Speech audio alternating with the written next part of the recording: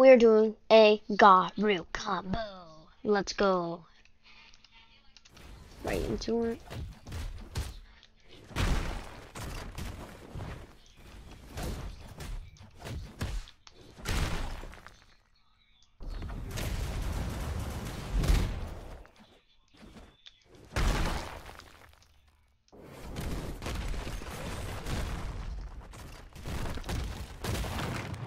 So you have to catch him in mid-air.